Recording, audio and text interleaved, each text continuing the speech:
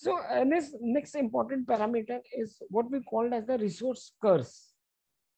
Uh, what exactly, this is very interesting. What exactly is the resource curse? Yeah. You know, when we are extracting these natural resources, okay, when we are extracting these natural resources, what we are doing?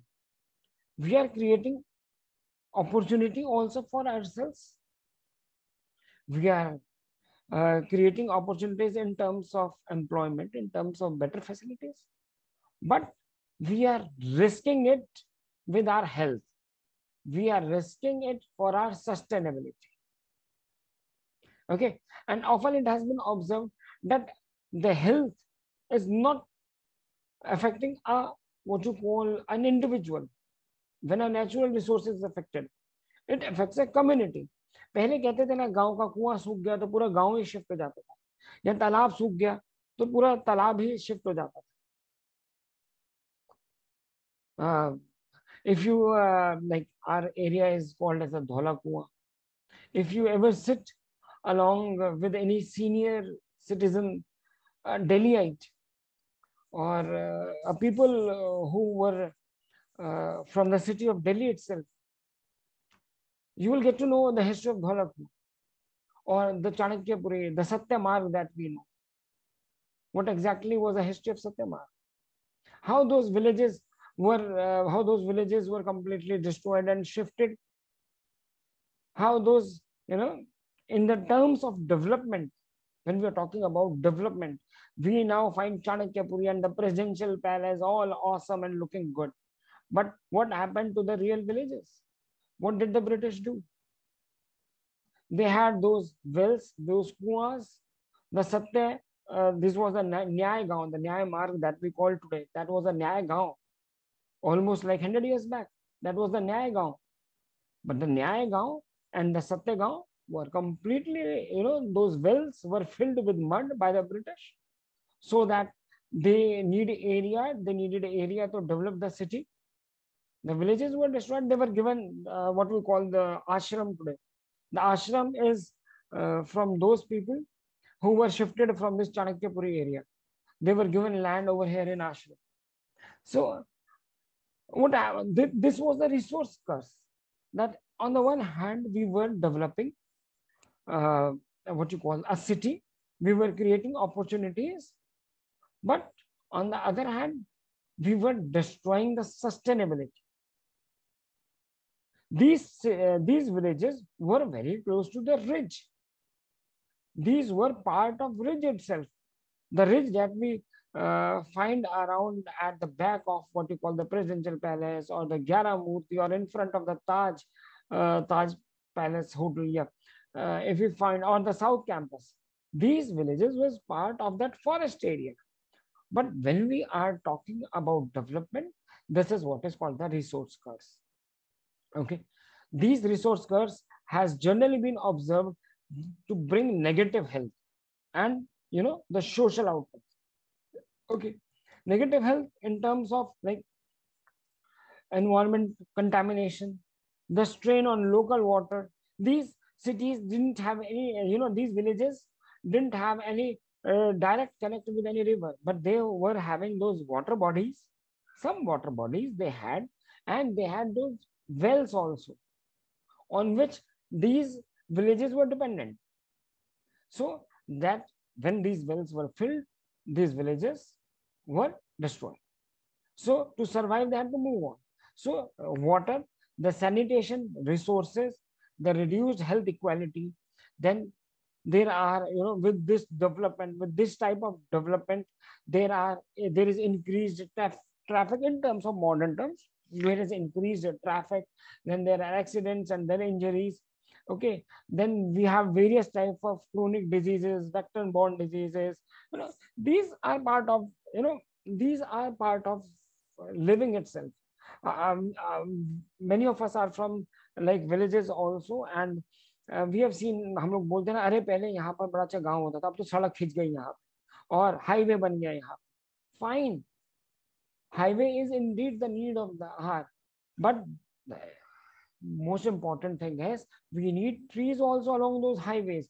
We need water bodies also along those highways so that the water level is not disturbed. Now, how can we control this resource? This is what is called as the health impact assessment. You know, health impact assessment, you know, it's a parameter that can control in which we consider the risk you know caused by these uh, growth uh, parameters and we promote the benefits of development. You know we need uh, health impact assessment is that when we are developing uh, or when we are utilizing a natural resource we need to develop an alternate plan.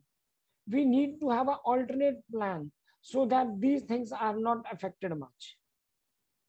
You know these natural resources if we are utilizing or if we are destroying a forest cover if we need to develop it for purpose of crops or we need to develop it for uh, what you call a city or for a dwelling we need to have that development.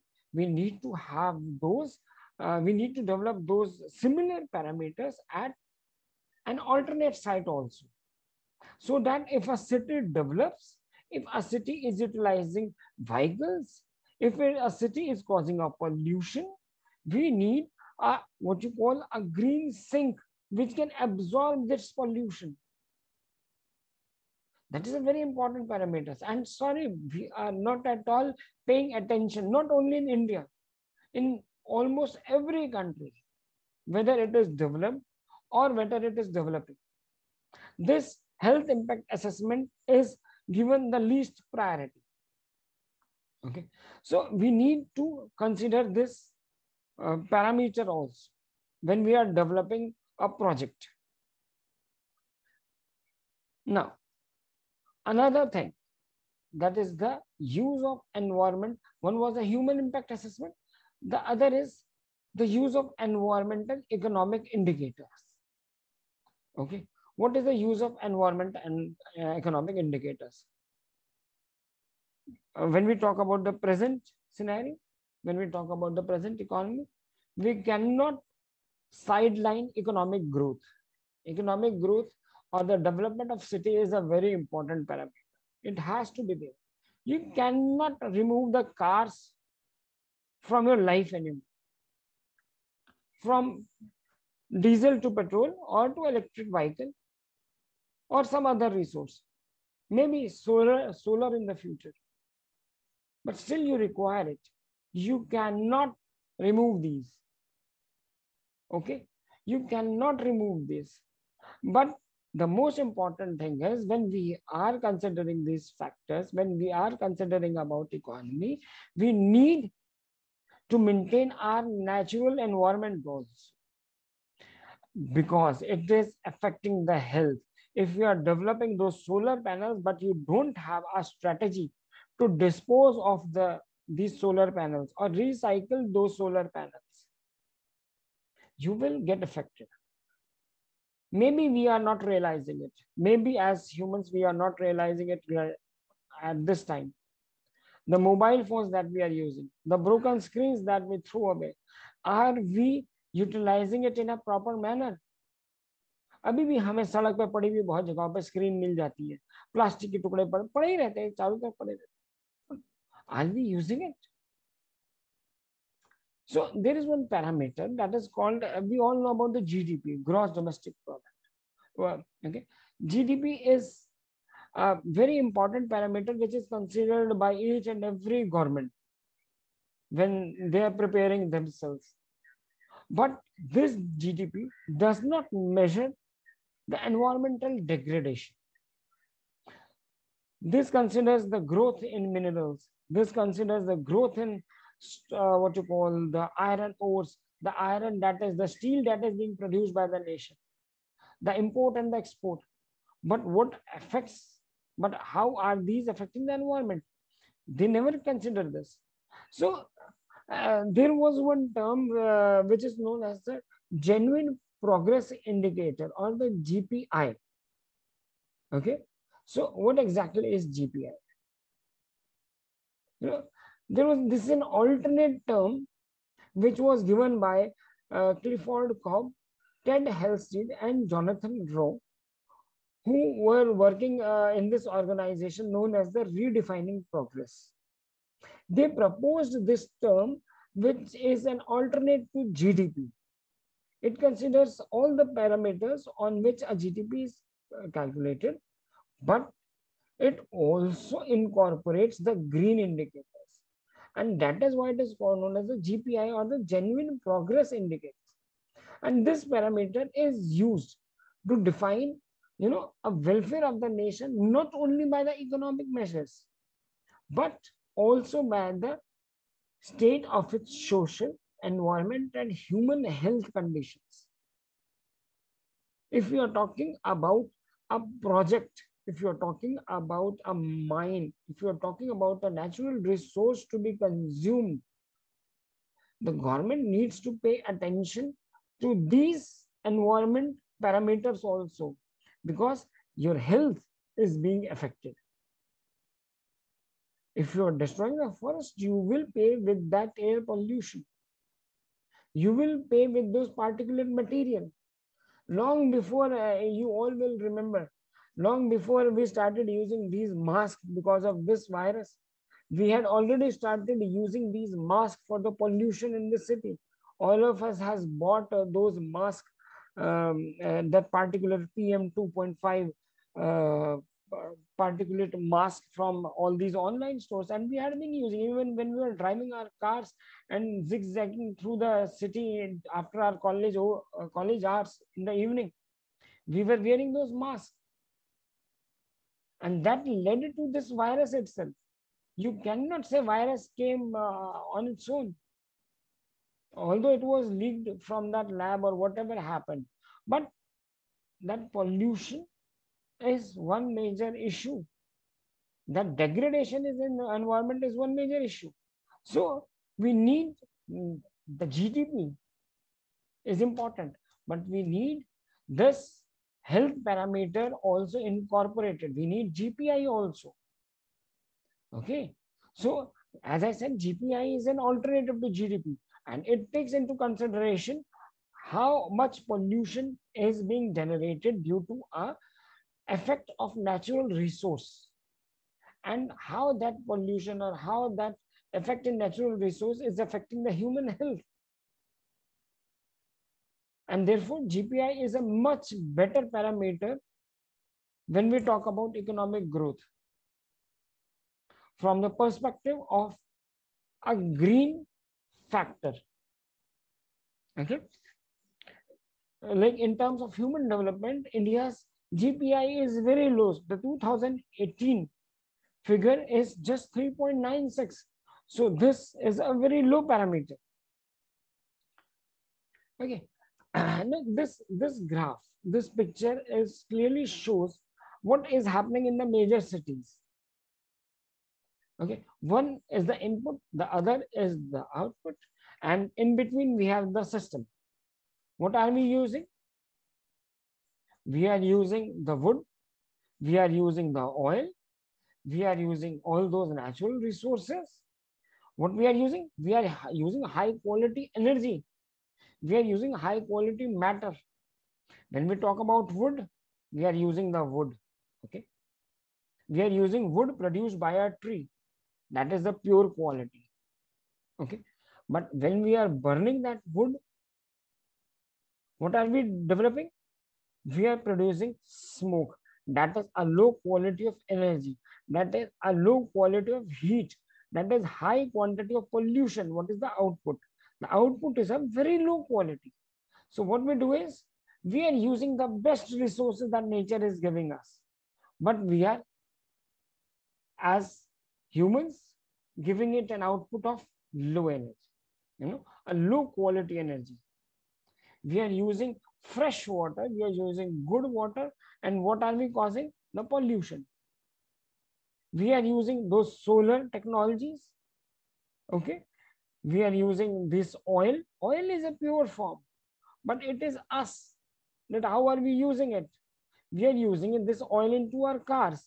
And what is car giving us? We are, it is only giving us the travel distance from like two hours, we are reaching home, back home in one hour. But what is the byproduct?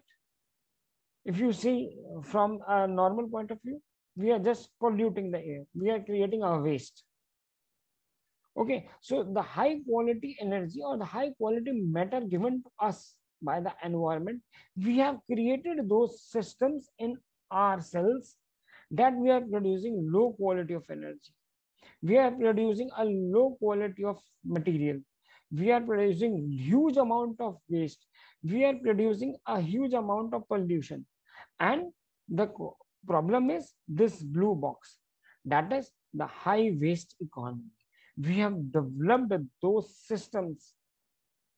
We have developed those technologies where we are develop we are producing huge waste where we are producing huge uh, what you call uh, parameters which are affecting our environment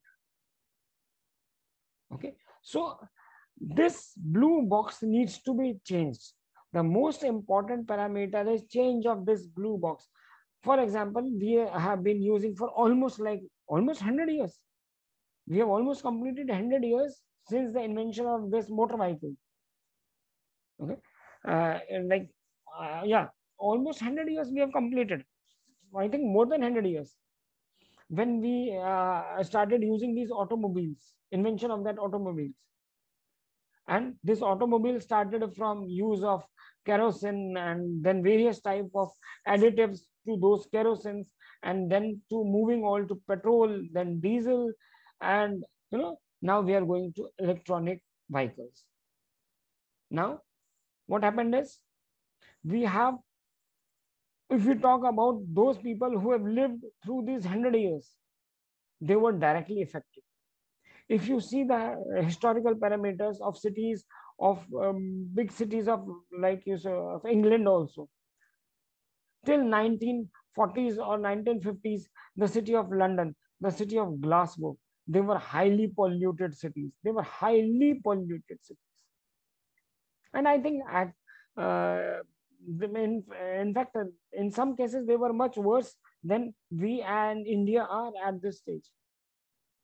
We are much better placed than those cities were.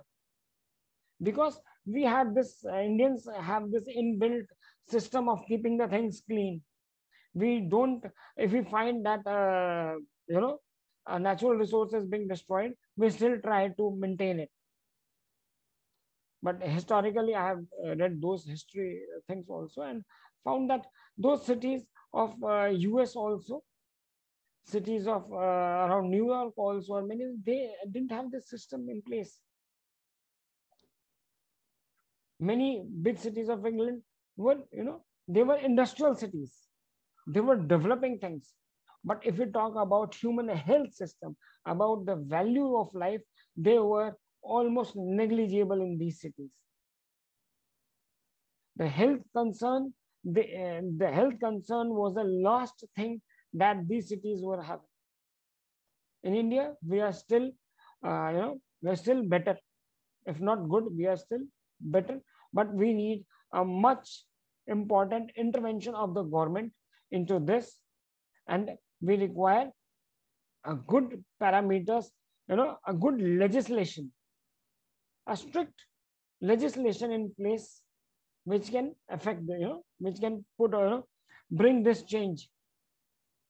Okay, we need, as I say, I have written over here that we need a direct connection between the misuse of these natural resources and health. You know, we need a direct connection that the misuse of these natural resources is controlled and the health is considered as an important parameter when we are talking about a city when we are developing a project hmm, let's uh, there's an example also when we talk about uh, a person who has been hospitalized what do we suggestion a doctor or we as uh, concerned person give it to him किसी साफ जगह पे घूम के आओ कोई हवा अच्छी लो कहीं घूमो किसी उसमें तो studies have indicated that a person if you travels to a clean environment a healthy environment he recovers faster and in a much better way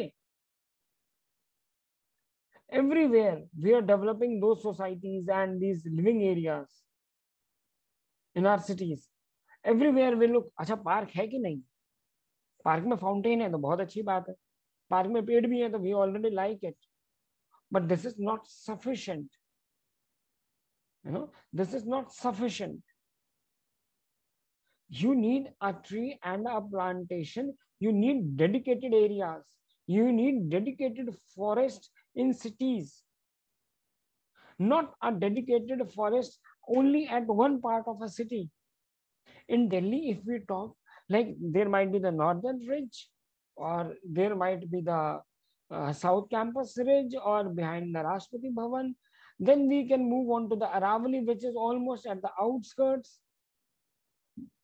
other than that, we don't find a forest cover area anywhere in Delhi. A dense forest cover area. Where is the sink for Delhi? And that is why we are all affected by all these headaches, all these joint pains, all these health issues. You know, clean water, clean air is a necessity. Okay, so our legislations need to be present the government needs to make these legislations and strong implementation is the need of the hour. Okay, so these are some of the parameters which, uh, you know, um, when a city is being developed and when we are developing, how these parameters are affected. Okay, the negative impact, are we increasing the negative impact or the positive impact? When we like uh, talk about the malaria thing, uh, indeed the negative impact is much more than the positive impact although we have been able to control malaria to mm, uh, like uh, to some extent but not much. Same is with the infectious disease vectors. We have been able to develop uh, what you call medicines for these diseases but still they exist. You cannot remove it okay and they exist because of the unplanned growth of our cities our health is being affected because of those unplanned cities. We need these resources. We need this, what you call clean water, clean air resources as part of the city system itself. It becomes the imperative responsibility of each citizen of that town or a city to take care of the city.